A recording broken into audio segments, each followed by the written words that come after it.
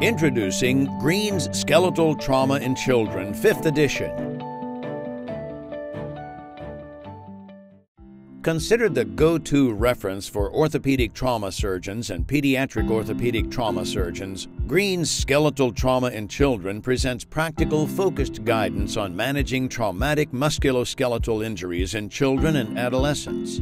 State-of-the-art coverage includes crucial chapters on skeletal trauma related to child abuse, anesthesia and analgesia, management of children's fractures, and outcome measures and rehabilitation. Make the best use of the newest techniques by effectively applying problem-focused clinical judgment and state-of-the-art treatment options.